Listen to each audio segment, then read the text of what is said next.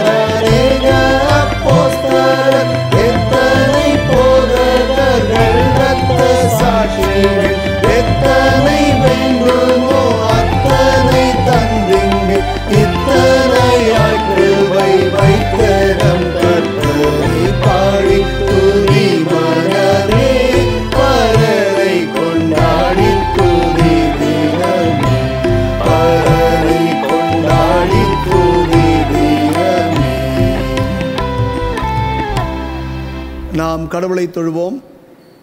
கடவுள் ஆவியாக இருக்கிறார் அவரை தோது கொள்கிறவர்கள் ஆவியோடும் உண்மையோடும் அவரை தோது கொள்ள வேண்டும்.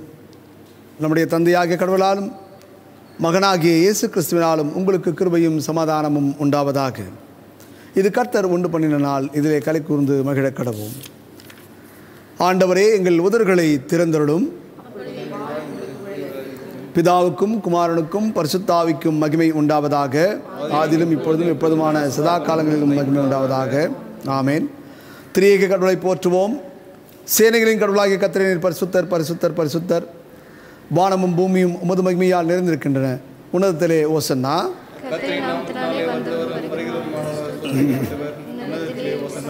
கடவுளே நீர் பரிசுத்தர். சர்வ வல்லவரே நீர் பரிசுத்தர் சர்வ வல்லவரே நீர் பரிசுத்தர் சாவாமை உடையவரே நீர் பரிசுத்தர். ஆண்டவரே எங்களுக்காக சிலுவையில் அறிகின்ற எங்கள் மீட்பரே எங்கள் மேல் கிருபையாயிரும். பரிசுத்தாவியாகிய ஆண்டவரே எங்கள் மேல் கிருபையாயிரும். ஆண்டவரே எங்கள் ஜெபங்களையும் ஆராதனை ஏற்றுக்கொண்டு எங்கள் மேல் கிருபையாயிரும். ஆண்டவரே எங்கள் மேல் மனதுருகி எங்கள் மேல் கிருபையாயிரும். அன்புக்குரியவர்களே நமக்கு பாவம் இல்லை என்போமானால் நம்மை நாமே வஞ்சிக்கிறவளாகவும் நமக்கு உண்மை இல்லை. நம்முடைய பாவங்களை அறிக்கிட்டால் பாவங்களை நமக்கு மன்னித்து எல்லாவித அனிதமும் நீங்கள் நம்மை சுத்திகரிப்பதற்கு அவர் நம்பத்தக்கவரும் நீதியும் உள்ளவராக இருக்கிறார் என்று திருமறை நமக்கு கூறுகிறது. அந்த நம்பிக்கையோடு நாம் அமர்ந்திருந்து சோதித்து அறிவோமாக.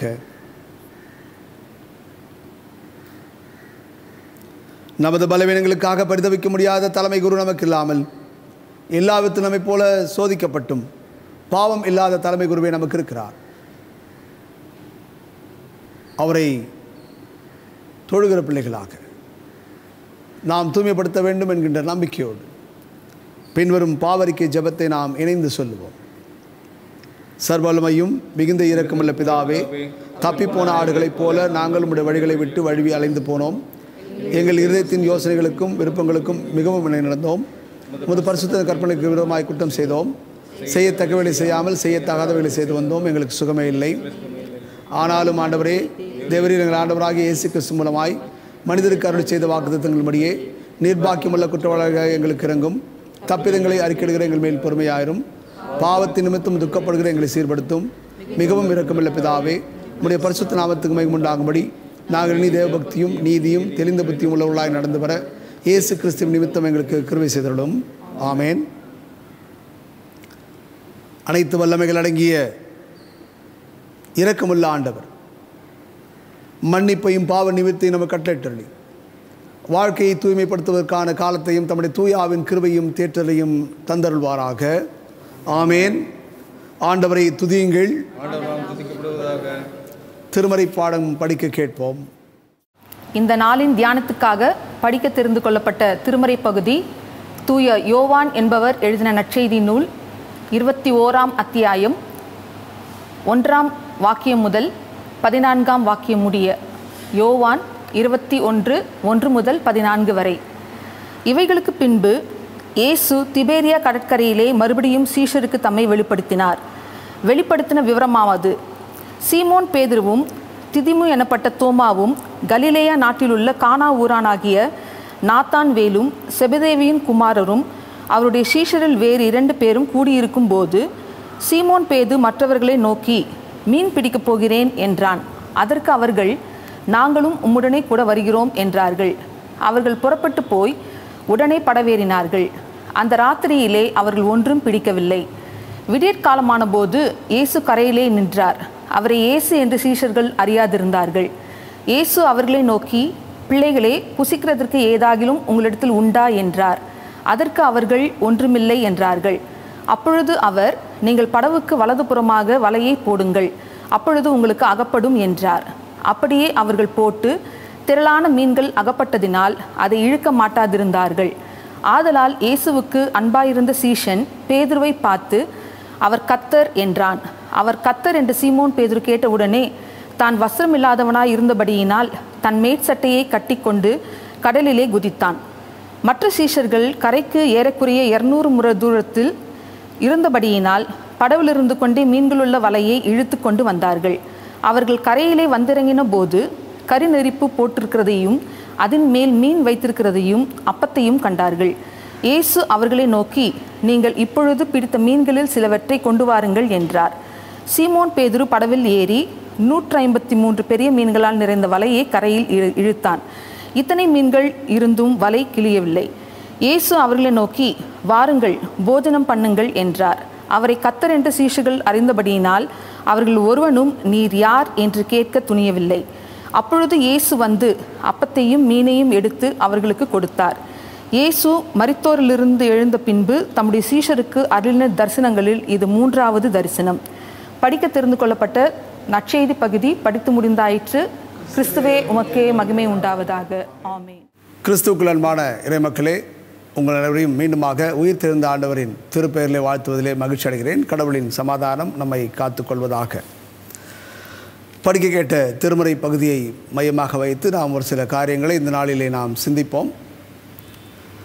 இயேசுவானவர் உயிர்த்தெழுந்த பிற்பாடு உயிர்த்தெழுதலின் கொண்டாட்டத்தை நாம் கொண்டாடின ஞாயிறுக்கு பிற்பாடு வருகின்ற இரண்டாம் ஞாயிற்றுக்கிழமையின் தலைப்பாக தென்னிந்திய திருச்சபை நமக்கு கொடுத்திருக்கின்ற தலைப்பு கிறிஸ்துவின் விருந்தோம்பலுக்கு அழைப்பு. இன்விடேஷன் டு கிரைஸ்ட் ஹாஸ்பிட்டாலிட்டி என்று நாம் சிந்திக்க இருக்கிறோம்.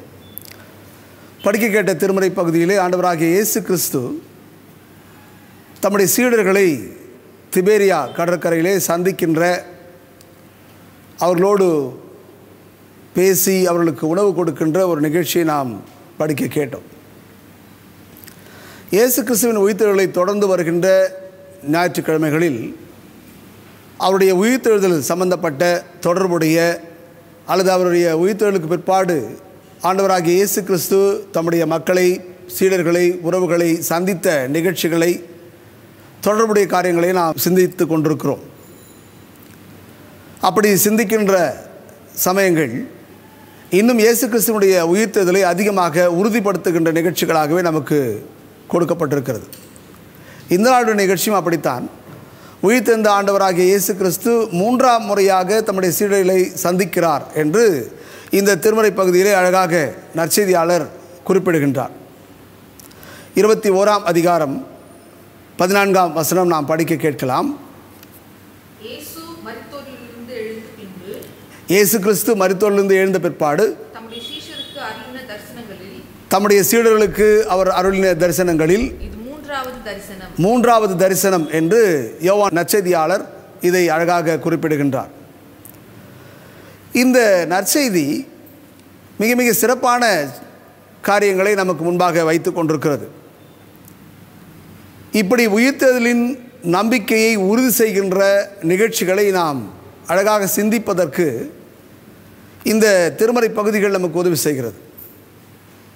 முதலாவதாக இருபத்தி ஓராம் அதிகாரம். யோவான் நற்செய்தியாளர் எழுதின இருபத்தி ஓராம் அதிகாரமே ஒரு பிற்சேர்க்கை அவருடைய நற்செய்தி முடிந்த பிற்பாடு பின்னால் எழுதப்பட்டு சேர்க்கப்பட்ட ஒன்று என்று இறையியலாளர்கள் குறிப்பிடுவது வழக்கம். காரணம் இருபதாம் அதிகாரம் முப்பதாம் வசனம் மற்றும் முப்பத்தி ஓராம் வசனம் இந்த நற்செய்தியை ஒரு முடிவுக்கு கொண்டு வருகின்ற வார்த்தைகளை அழகாக பதிவு செய்திருக்கிறது. நாம் படிக்கலாம். இருபதாம் அதிகாரம் முப்பது முப்பத்தொன்றாம் வசனம்.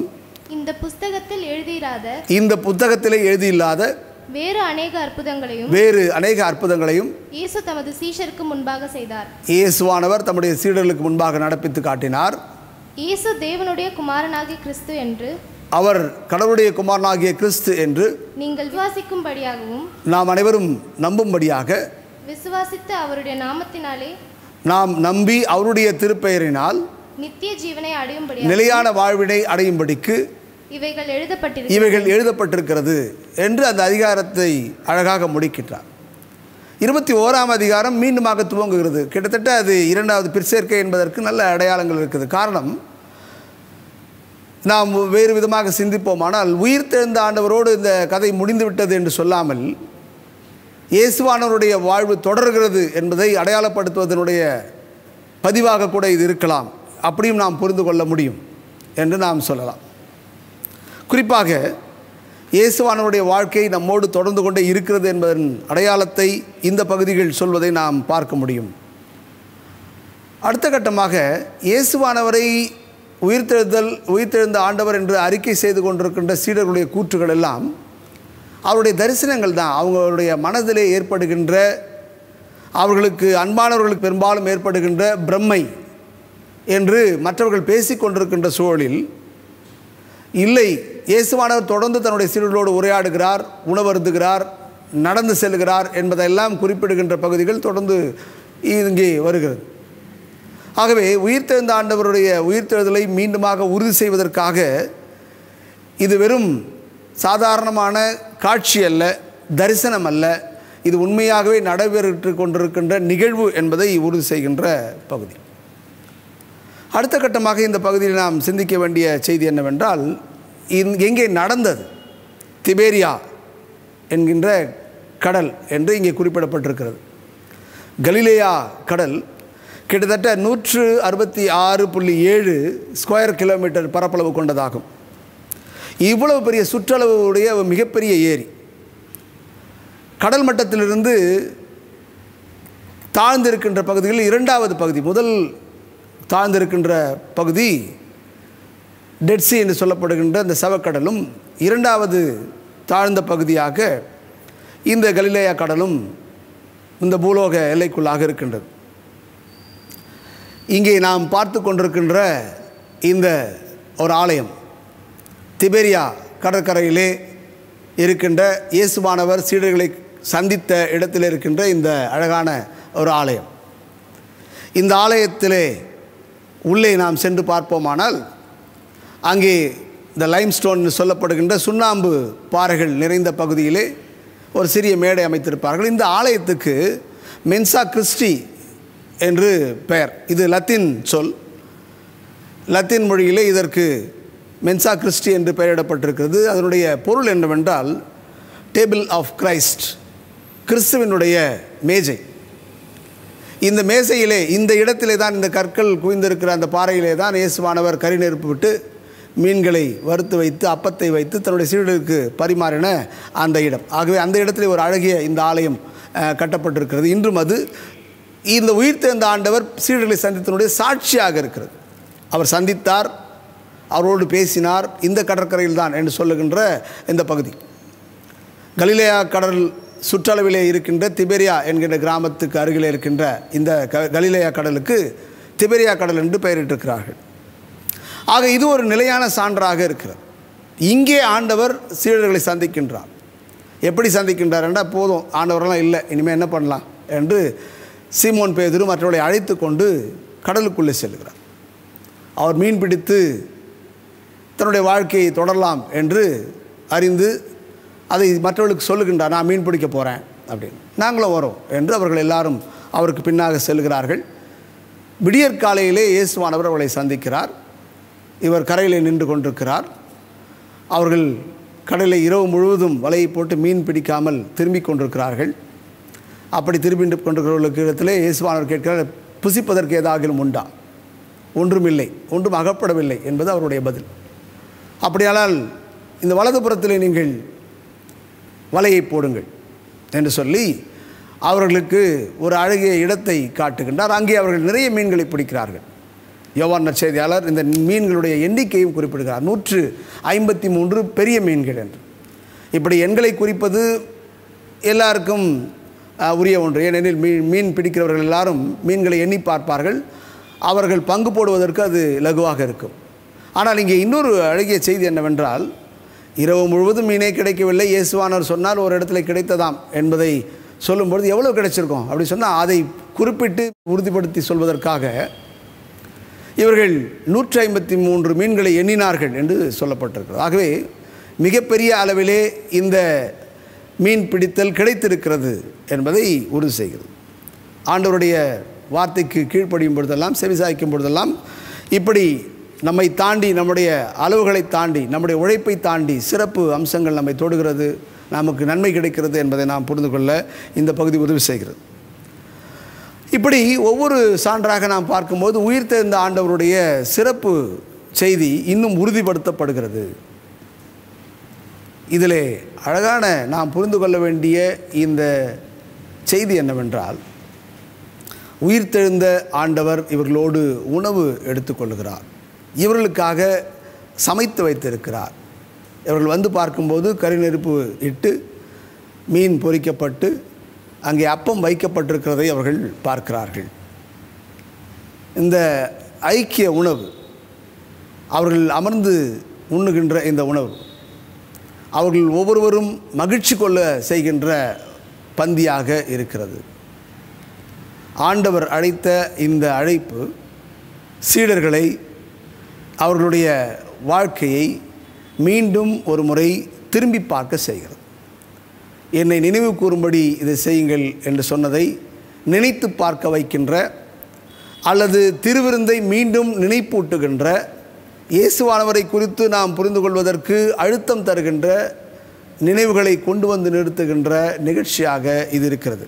ஆண்டவராக இயேசு கிறிஸ்து சீடர்களோடு கடைசியாக உணவெடுத்து கொண்ட அந்த திருவிருந்தின் பகுதியிலே அவர் சொல்லும்போது என்னை நினைவு கூறும்படி இதை செய்யுங்கள் என்று சொன்னார். அதை மீண்டும் இந்த பிள்ளைகளுக்கு நினைவுபடுத்துகின்ற நிகழ்ச்சியாக நான் இதை பார்க்கின்றேன். எதை நினைவு கூற சொன்னார் என்றால் இயேசுவானவருடைய வாழ்க்கையிலே அவர் கற்பித்தவைகளை அவருடைய கட்டளைகளை அவர் சொன்னவற்றை நடப்பிப்பதற்கு ஜாக்கிரதையாக இருக்கின்ற நிலைமைகளை என்ன சொன்னாரோ அதை செய்கின்ற உத்வேகத்தை அவர் நினைத்து பார்க்க சொன்னார். இந்த மீண்டுமாக இவர்களை அழைத்து பொரித்த மீனையும் அப்பத்தையும் அவர் பங்கிட்டு கொடுக்கின்ற அந்த நிகழ்வு ஏற்கனவே அவர் அளித்த நினைவு கூறுங்கள் என்ற புதிய உடன்படிக்கையின் கட்டளையை நினைவுக்கு கொண்டு வருகின்றதாக இருக்கிறது. ஏன் இதை நினைவு கொண்டு வர வேண்டும் என்றால் இவர்கள் இயேசு கிறிஸ்துவினுடைய உயிர்த்தலுக்கு பிற்பாடு வேறு எதுவும் வேலை இல்லை என்று பழைய வேலைக்கே சென்று விட்டார்கள். மீன் பிடிக்கின்ற தொழிலில் மீண்டுமாக தங்களை ஈடுபடுத்தி கொண்டார்கள்.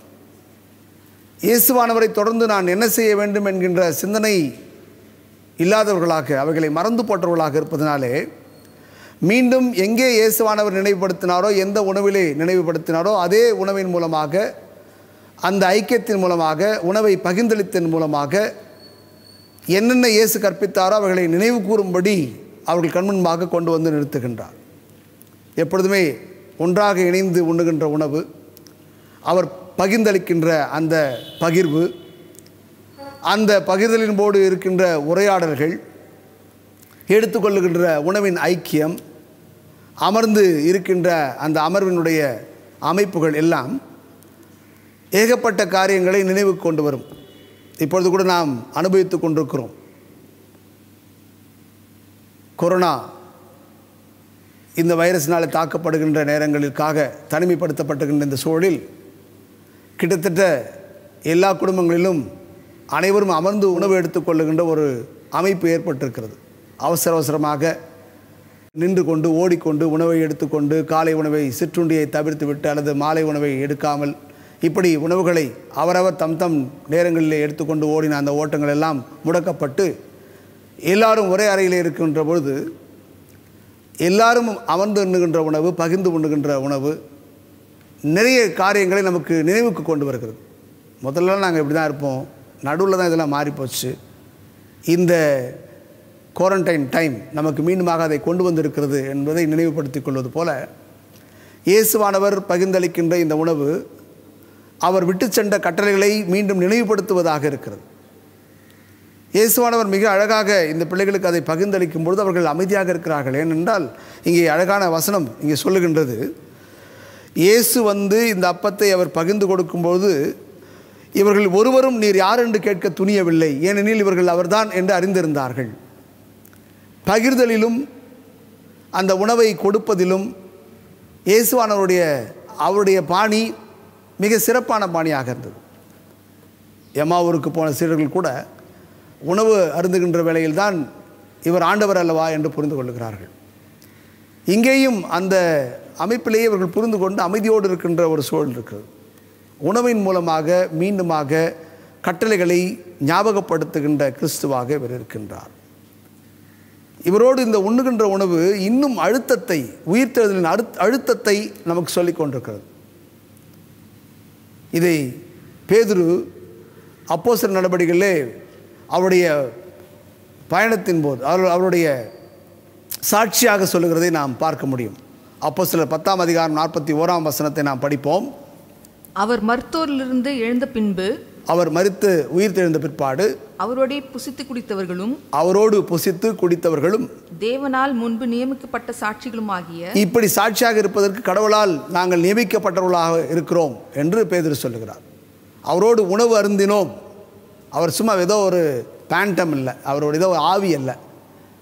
அவர் சரீரத்தோடு எங்களோடு இருந்தார். அவர் எங்களுக்கு உணவை எடுத்து கொடுத்தார். நாங்கள் அதை உண்டோம். நான் அவரோடு இருந்து சாப்பிட்டதுக்கு நான் சாட்சி என்று சொல்லுகின்ற ஆணித்தரமான உறுதியான சாட்சியாக இதை பிற்பாடு அவருடைய சாட்சியிலே அவர் கூறுகிறதை நாம் பார்க்க முடியும். ஆக இந்த உணவு அருந்துதல் என்பது நினைவுபடுத்தக்கூடியதும் சாட்சியை உறுதிப்படுத்தக்கூடியதுமாக இங்கே இருக்கிறதை நாம் மீண்டும் ஒரு முறை நம்முடைய எண்ணத்திலே பதிவு செய்து கொள்ள வேண்டும். அவருடைய கட்டளைகளை அவருடைய செயல்பாடுகளை அவர் கற்பித்த வழிமுறைகளை நினைவு கூற வேண்டும் என்று மீண்டுமாக இங்கே அவர் தன்னை அர்ப்பணிக்கின்றார் என்று நாம் புரிந்து கொள்ள வேண்டும். ஏன்னா இவர்கள் எல்லாவற்றையும் விட்டுவிட்டு பழைய நிலைமைக்கு திரும்புகிறார்கள். பின்வாங்கி போகிறார்கள். அவர்களுக்கு மீண்டுமாக சொல்கிறார் இந்த உணவுக்காக தானே போனீங்க? இந்த அப்பத்துக்காக மீனுக்காக தானே ஓடுறீங்க? நானே வாழ்வு தருகின்ற அப்பம் ஜீவ அப்பம் நானே. உங்களோடு இருந்தபொழுது எப்படி ஐந்தப்பம் இரண்டு மீனை ஐந்தாயிரம் பேருக்கு கொடுத்தேனோ? நீங்கள் அதை ருசி பார்த்து மீதம் எடுத்து வைத்தீர்களோ? அந்த உணவு சாதாரணமாக என்னால் கொடுக்கப்படுகிறது போல் உங்கள் வாழ்வுக்காக நீங்கள் உணவு தேடும் பொழுது அதையும் என்னால் கொடுக்க முடியும். அது மட்டுமல்ல மனுஷன் அப்பத்தினால் மாத்திரமல்ல கடவுளின் வார்த்தையினாலும் பிழைப்பான் என்ற அழுத்தத்தையும் கிறிஸ்துவானவர் இங்கே மீண்டும் ஒரு முறை இவர்களுக்கு பதிவு செய்கிறார். நான் தானே அந்த உணவு இதை போய் நீங்கள் தேடுறீங்க அதை நானே எங்களுக்கு கொடுக்குறேன். கரையில் நின்று கொண்டு இவர்கள் கொண்டு வருகின்ற மீனுக்கு முன்பாகவே இவர் அவைகளை சமைத்து வைத்திருக்கிறவர் அப்பத்தை வைத்திருக்கிறவராக இருக்கிறார். இதுக்காக தானே போனீங்க? இது இங்கேயே இருக்குது நானும் தான் அது என்று தன்னையே கொடுக்கின்ற கிறிஸ்துவாக அவர்களுக்கு நினைவுபடுத்துகின்றார். ஏன் இந்த ரொம்ப ஆணித்தரமாக இதை நாம் புரிந்து கொள்ள வேண்டும் என்றால் எதற்காக இவர்கள் தெரிவு செய்யப்பட்டார்களோ எதற்காக பயிற்றுவிக்கப்பட்டார்களோ எதற்காக கிறிஸ்துவால் அழைக்கப்பட்டார்களோ அதிலிருந்து அவர்கள் பின்வாங்கி பழைய நிலைமைக்கே சென்று வருகிறதை கர்த்தர் கண்டிக்கிறவராக இருக்கிறார் என்பதை நாம் புரிந்து கொள்ள வேண்டும். ஏன்னா இந்த நான் படிக்க கேட்ட பகுதிக்கு பின்னால் வருகின்ற நூ இருபத்தி ஓராம் அதிகாரத்தினுடைய பதினைந்து வசனங்கள் பதினாறாவது வசனங்கள் பதினேழாவது வசனங்கள் எல்லாம் பார்க்கும் பொழுது பேதுருவிடத்தில் அவர் பேசுகின்றார்.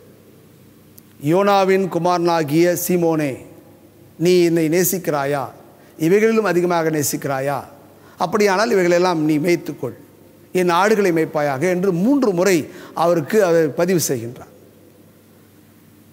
இயேசுவானவர் முதல் முதலாக யோவானை சந்திக்கும் பொழுது அவருடைய சகோதரன் அந்திரேயா தான் அவருக்கு அறிமுகம் செய்கின்றார். முதலாம் அதிகாரம் யோவான் நற்செய்தி உள்ளே முதலாம் அதிகாரத்தில் நாம் அதை படிக்க முடியும். அந்திரேயா அவருக்கு அறிமுகம் செய்கின்றார். மேசியாவை கண்டோம் என்று சொல்லுகின்றார். மேசியாவை கண்ட அந்த சாட்சியை கேட்டு அவர் முன்வைக்கும் பொழுதே இயேசுவானவர் அவரை பார்த்து சொல்லுகின்றார் யோனாவின் குமாரனாகிய சிமோனே நீ இன்று முதல் கேபா என்று அழைக்கப்படுவாய். படிங்க. இயேசு அவனை பார்த்து இயேசு அவரை பார்த்து நீ யோனாவின் மகனாகிய சீமோன். நீ யோனாவின் மகனாகிய சிமோன். நீ கேபா என்னப்படுவாய் நீ. கேபா என்று அழைக்கப்படுவாய். கேபா என்பதற்கு பாறை கடினமானவர் உறுதியானவர் என்று பொருள் அல்லவா? ஆக முதலாவது அழைக்கும் பொழுது எப்படி அவர் அழைத்தாரோ யோவானின் குமாரனாகிய சீமோனே என்று அவர் அழைக்கும் பொழுது அவர் சாதாரணமாக இருந்தாரோ நான் உன்னை மீன்களை பிடிக்கிறதை தாண்டி மனிதனை பிடிக்கனாக்குவேன் என்று கொண்டு வருகிறார். அப்படி கொண்டு வந்த பிற்பாடு மீண்டுமாக இவர் மீனை பிடிக்கவே செல்லுகிறார். அப்பொழுது இயேசு அழகாக இங்கே குறிப்பிடுகின்றார் யோனாவின் குமாரனாகிய சீமோனே என்று எப்படி முதல் முதல் அவரை அழைத்தாரோ ஞாபகப்படுத்துகிறார். ஏன்னா நீ திரும்பி அங்கேயே போயிட்ட. நீ பழையாளாவே ஆயிட்ட. நீ நான் சொன்ன இடத்துக்கு வரல. நான் நீ மனுஷனை பிடிக்கிறதுக்கு மாற்றிக்கல நீ எங்கேயோ பின்வாங்கி போனாய் என்பதை உறுதி செய்கின்ற கிறிஸ்துவாக யோனாவின் குமாரனாகிய சீமோனே என்று பழைய பெயரையே அவருக்கு அவர் சூட்டுகின்றார். அதிலேயே அழைக்கின்றார். கேபான்னு பேதுருன்னு அழைக்கலை. ஏன்னா அவர் அங்கே பின்னே இருக்கின்றார் என்பதை அவர் திரும்ப சொல்லுகின்றார். நீ என்னை நேசிக்கிறாயா?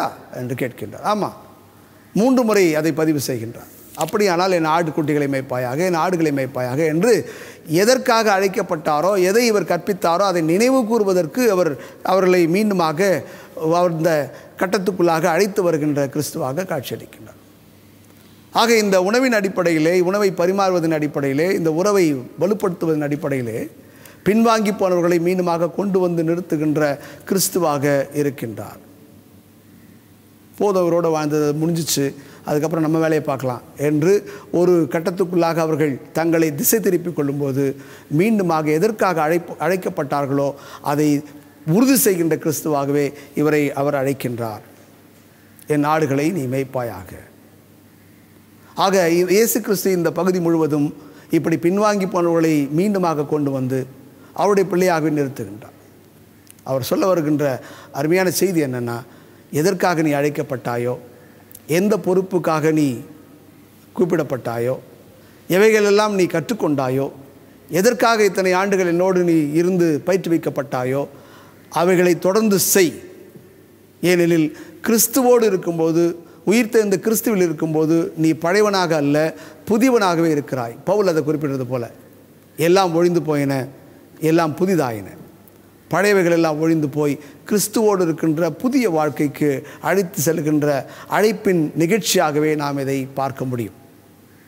இதை கேட்டுக்கொண்டிருக்கின்ற அருமையான கிறிஸ்துவின் பிள்ளைகளே அநேக இக்கட்டுகள் சஞ்சலங்கள் கஷ்டங்கள் வரும்பொழுதெல்லாம் பின்வாங்கி போகின்ற நமக்கு மீண்டுமாக இழுத்து பிடித்து நிறுத்தி உனக்கு புதிய வாழ்வு உண்டு என்பதை சொல்லிக் கொடுக்கின்ற ஆண்டவர் நம்மோடு இருக்கிறார்.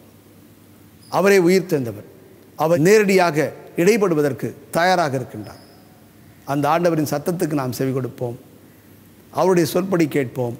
அவரை நினைவு கூர்ந்து செய்வோம். எப்பொழுதெல்லாம் அவரை நினைக்கிறோமோ அவர் சொன்னவைகளையும் அவர் நமக்கு செய்ய வேண்டும் என்று கட்டளையிட்டவைகளையும் தொடர்ந்து செய்வதற்கு நாம் முயற்சி செய்வோம். கடவுள் நம்மை ஆசீர்வதிப்பாராக. ஆமேன். ஆண்டவருடைய செய்தியை கேட்ட நாம் நம்முடைய பற்றுறுதியை அப்போஸ்தல பற்றுறுதியின் மூலமாக அறிக்கை செய்வோம். இணைந்து சொல்லுவோம். வானத்தையும் பூமியும் படைத்த சர்வமுள்ள பிதாவாகிய தேவனை விசுவாசிக்கிறேன். அவருடைய குமாரனாகிய நம்முடைய ஆதர இயேசு கிறிஸ்துவை விசுவாசிக்கிறேன். அவர் பரிசுத்த ஆவினாலே கண்மையாடத்தில் உற்பத்தி பிறந்தார். பொந்து விழாத்துவின் காலத்தில் பாடுபட்டு சிறுவில் அறிவிண்டு மறித்து அடக்கம் பண்ணப்பட்டு பாதாளத்தில் இறங்கினார். மூன்றாம் நாள் மருத்துவத்திலிருந்து எழுந்தருளினார். பரமடத்துக்கு ஏறி சர்வமுள்ள பிதாவாகிய தேவனுடைய வலதுபாசத்தை விட்டிருக்கிறார் அவிடத்திலிருந்து உயிரோரையும் மருத்துவரையும் ஞாபகத்திற்கு வருவார். பரிசுத்தாவை விசுவாசிக்கிறேன். பொதுவாக இருக்கிற பரிசு சபையும் பரிசுவானுடைய ஐக்கியமும் பாவ மன்னிப்பும் சரீர வைத்ததிலும் நித்திய ஜீவனம் உண்டென்று விசுவாசிக்கிறேன். ஆமேன். இந்த பற்றூரில் நாம் நிலைத்திருக்க கடவுள் நமக்கு அருள் புரிவாராக. ஆமேன். கிறிஸ்துக்கள் அன்பானவர்களை மீண்டுமாக உங்கள் அனைவருக்கும் நான் வாழ்த்துகின்றேன். நம்முடைய திருச்சபையில் நாம் தொழுவதற்கு வாய்ப்புகள் அருளப்படும் வரை இப்படி வலைதள காணொளி மூலமாகவே நாம் வழிபாட்டை நடத்த திட்டமிட்டிருக்கிறோம். தொடர்ந்து உங்களுடைய நண்பர்களுக்கும் நம்முடைய திருச்சபை அங்கத்தினர்களுக்கும் இந்த நிகழ்ச்சியை நீங்கள் பகிர்ந்து கொடுக்கும்படி அன்போடு கேட்டுக்கொள்கின்றேன். தயவுசெய்து ஊரடங்கு உத்தரவு தளர்த்தப்படும் வரை வீட்டிலே இருங்கள். நாம் அனைவரும் கடவுளை வீட்டிலிருந்தே தொழுது கொள்ள நம்முடைய உறவுகளை பாதுகாத்து கொள்ள நம்முடைய நாட்டை பாதுகாக்க நிச்சயமாக கடமைப்பட்டிருக்கிறோம். ஆகவே நாம் எல்லாவற்றிலும் கட்டுப்பாடோடு இருக்க நம்மை அர்ப்பணிப்போம். எல்லாவற்றுக்கும் மேலாக நமக்கு அருகிலே இருக்கிற நண்பர்கள் உறவுகள் தெரியாதவர்கள் உணவின்றி கஷ்டப்படும்போது தயவுசெய்து அதை கண்டுபிடித்து அவரவர் தம் தம் நிலைமைக்கேற்ப உதவி செய்யும்படி அன்போடு கேட்டுக்கொள்கின்றேன். அருகில் இருக்கிறவர்களை நிச்சயமாக நாம் பாதுகாக்க வேண்டியவர்களாக இருக்கிறோம். இல்லத்திலே உங்களுடைய பிள்ளைகளை பத்திரப்படுத்திக் கொள்ளுங்கள் பெரியவர்களை பாதுகாத்து கொள்ளுங்கள். வயசானவங்களை எல்லாரையும் நாம் மிக மிக பத்திரமாக பார்த்துக்கொள்ள அழைக்கப்படுகிறோம். கடவுள் நமக்கு கிருவை செய்யும் வரை நம்மை அவரிடத்தில் அர்ப்பணிப்போம். ஆலயத்தின் வழிபாடுகளை இப்படி கண்டு நாம் மகிழ்ந்து களி கூறுவோம். எல்லாருக்காக நீங்கள் தொடர்ந்து வேண்டுதல் செய்யுங்கள். தொடர்ந்து திருச்சபையின் காரியங்களிலே உங்களுடைய கவனத்தை நீங்கள் வைத்துக்கொள்ளும்படி அன்போடு கேட்டுக்கொள்கிறேன். கடவுள் நம்மை வழிநடத்துவாராக. நம்மை அர்ப்பணிக்க வண்ணமாக கீர்த்தனைகளில் அறுபதாவது பாடலை யாவரும் இணைந்து பாடுவோம். உயிர்த்தெழுந்த ஆண்டவரை தொடர்ந்து அவருடைய உயிர்த்தெழுதலை மற்றவர்களுக்கு உறுதி செய்கிற பிள்ளைகளாக நாம் நம்மை அர்ப்பணித்து இந்த பாடலை பாடுவோம். எழுந்தார் இறைவன் ஜெயமே ஜெயமெனவே எழுந்தார் இறைவன் என்ற பாடலை இணைந்து பாடுவோம்.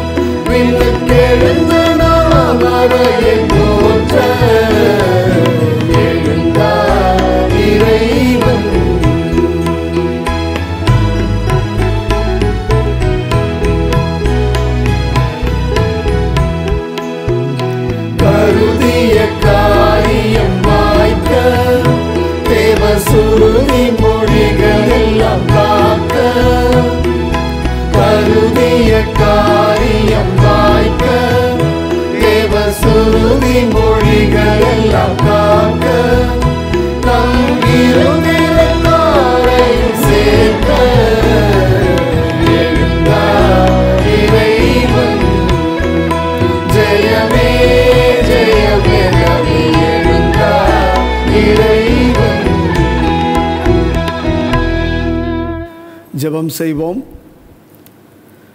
இரக்கமுள்ள நல்ல ஆண்டவரே உம்மை போற்றுகிறோம் உம்மை துதிக்கிறோம் உமக்கு நன்றி செலுத்துகிறோம். உம்முடைய வாக்குகளை நாங்கள் கேட்கும்போது எண்ணிலடங்காதவர்களை நாங்கள் பெற்றுக்கொள்ள எங்களுக்கு நீர் நன்மை பாராட்டுகின்றீர். உம்மை நினைவு கூர்ந்து உம்முடைய சிந்தனைகளையும் செயல்களையும் நீர் கற்றுத்தந்த கட்டளைகளையும் கடைபிடிக்கின்ற பிள்ளைகளாக இருக்க நாங்கள் எங்களை அர்ப்பணித்து பின்வாங்கும் பொழுது மீண்டுமாக நீர் எங்களை திசை திருப்புகிறீர் எங்களை கூட்டி அணைக்கின்றீர். நீர் உம்முடைய உண்மையான அடையாளத்தினால் எங்களை பாதுகாக்கின்றீர். ஐக்கியத்தை ஏற்படுத்துகின்றீர் உம்மை ருசி பார்க்கின்ற வாய்ப்புகளை தருகிறீர். அதற்காக நன்றி செலுத்துகிறோம். ஆண்டவரே உம்முடைய திருத்திட்டத்தை தொடர்ந்து நாங்கள் செயல்படுத்துகிற பிள்ளைகளாக இருக்க நீர் எங்களை பலப்படுத்தும்படியாக உம்மிடத்தில் எங்களை அர்ப்பணிக்கின்றோம். நீர் எங்களை பாதுகாத்து கொள்ளும்.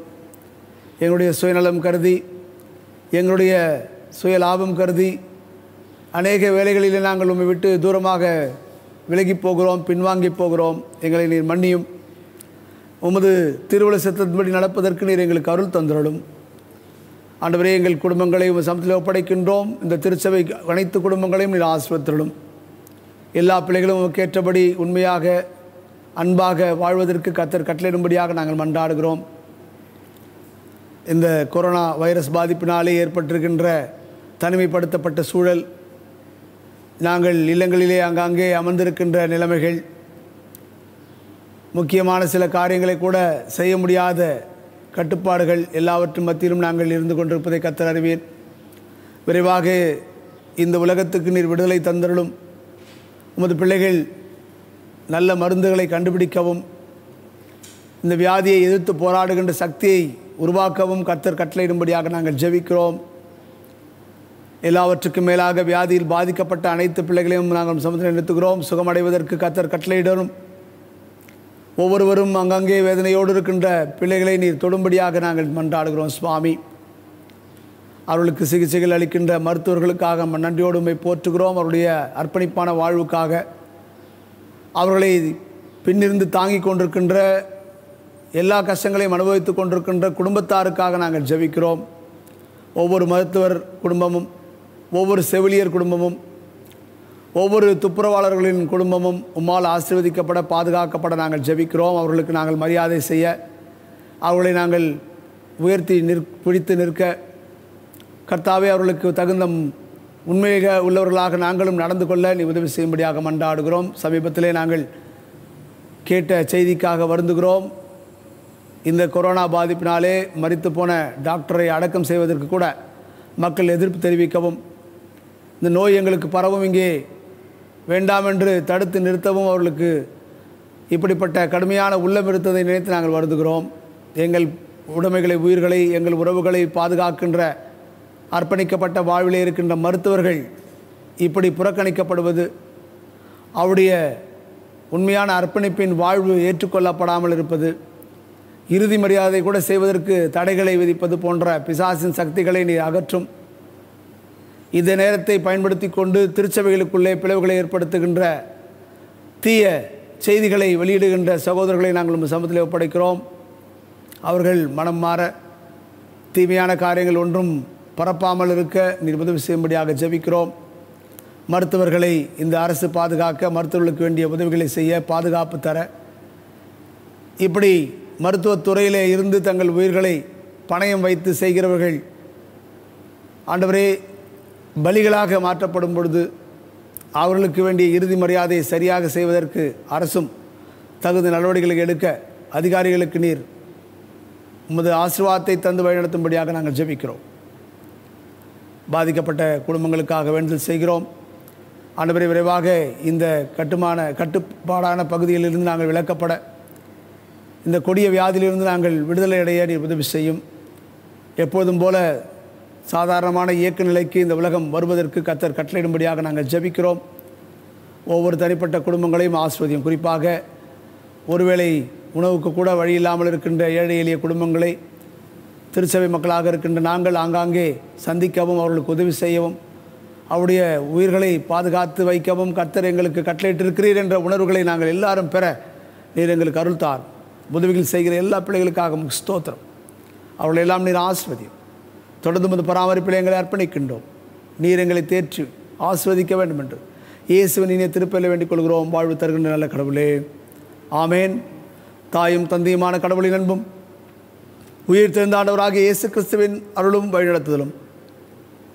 நம்மை பலப்படுத்தி பாதுகாத்து நன்மை பொழிகின்ற தூயாவின் கூற்றவும் ஐக்கியமும் பாதுகாப்பும் நம் அனைவரோடும் திருச்சபை மக்கள் அனைவரோடும் பாதிப்பில் இருக்கிற பிள்ளைகள் அனைவரோடும். இன்றும் மீண்டும் சதா காலமும் நிலைத்திருப்பதாக